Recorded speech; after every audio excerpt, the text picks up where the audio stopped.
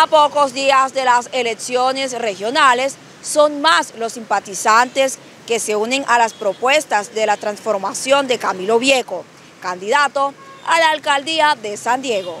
Mi nombre es Camilo Vieco Merlano, tengo 26 años, soy ingeniero civil de profesión, soy especialista en proyectos y soy egresado del SENA.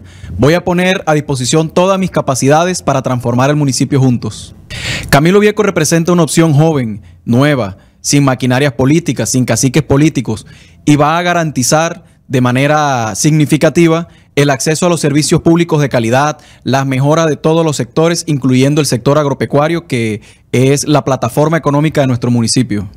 Bueno, hasta el momento nos sentimos muy cómodos porque es el fruto del arduo trabajo que hemos venido haciendo. Hay un gran, una gran incidencia del voto de opinión y pienso que hay que seguir trabajando. Las elecciones eh, son el 29 de octubre, estamos a pocos días y pienso que ahí es donde vamos a demostrar que realmente el pueblo quiere que haya una transformación. Quiero también resaltar que San Diego lo ha entendido. En las últimas encuestas estamos viendo que la intención de voto está subiendo de manera significativa a favor de esta campaña y pienso que el momento es ahora. Vamos a transformar el municipio de San Diego. Bueno, nosotros vamos a garantizar por lo mínimo mil puestos de trabajo.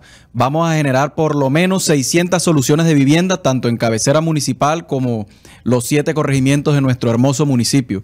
Vamos a garantizar la ampliación de la cobertura del Hospital El Socorro Asimismo, también vamos a mejorar la infraestructura de nuestras instituciones educativas, porque la implementación de la tecnología también hace parte de la infraestructura. A todos los que nos están escuchando y viendo en este momento, les pido que me den la oportunidad de transformar al municipio de San Diego este 29 de octubre.